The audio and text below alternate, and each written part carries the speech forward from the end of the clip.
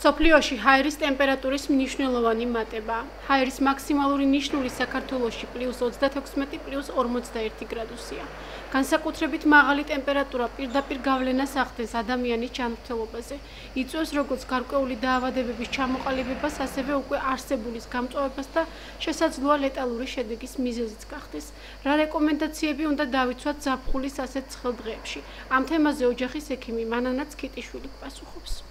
პირველ რიგში თავი დავიცვათ პირდაპირ მზის სხივებისაგან. განსაკუთრებით სადღაც 12-დან 5 საათამდე განსაკუთრებით მაღალია მზის რადიაცია და ხანდაზმულებს, ასაკოვნებს, ქრონიკული დაავადების დაავადებულებს არ ვურჩევ ამ დროს გარეთ სიაროს. თუ მაინც და მაინც დამცავი ქოლგითან, ნუ ხუთს ხუთს არ ვურჩევ, იმიტომ რომ ნაკლებად არის ხოლმე ბუნებრივი მასალის და პირიქით ახურებს თავისკანს და ჯობია ქოლგითია რომ სითხეები დიდი რაოდენობით, მოკლედ არა ძალიან ცივი. ბავშვობაში გვასწავლიდნენ ზღაპარს რომ რა დაემართა იმ ახალგაზრდას რომ მას გადახურებულმა ცივი წყალი დალია, მოკვდა უბრალოდ. მართალია არ მოკვდებიან, მაგრამ გადახურებულზე ძალიან ცივი წყლის დასმა სამწუხაროდ იწვევს ჯანმრთელობის მდგომარეობის გაუარესებას.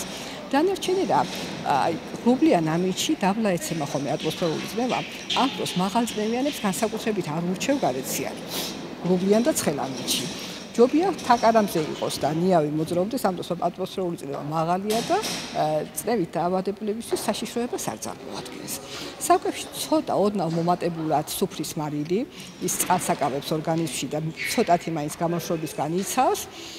მზის საწინააღმდეგო საშუალებები და კაცი გატყობა ნამდვილი ზაფხული ცხელი დღეებით ამას პოზიტივითაც შევხედოთ და ვისარკვევოთ ზაფხულის სიკეთეებით ბასეინებით მდინარეებით წყალსატევებით და ნაყიდით და ცივი გამაგრდილი სასმელებით როგორ უნდა მოვიქცეთ თუ მოხდება სხეულის გადახურება, რომელმაც შეიძლება გამოიწვიოს ესეთი სიმპტომები, როგორიცაა ძლიერი საერთო სისუსტე, გულის წასვლა, თავის ტკივილი, ძილიანობა, ღებინება, განსაკუთრებით საშიში სიმპტომია დეზორიენტაცია.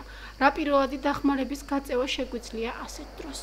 სიკრილეში გადაყვანა რა თქმა უნდა ვენტილაცია მოწესრიგებულად თუ შესაძლებლობა რა თქმა უნდა კონდიცირება თუ არა და ჩაოლებრივი ვენტილატორით სითხეები ისე და სიმპტომური საშუალებები ხა თუ თავის ტკივილი აქვს ამ დროს ტკივილი გამაყუჩებელი დამწრობის საწინააღმდეგო კრემები, მალამოები და ნუ შემდეგ ამის შემდეგ ექიმთან კონსულტირება.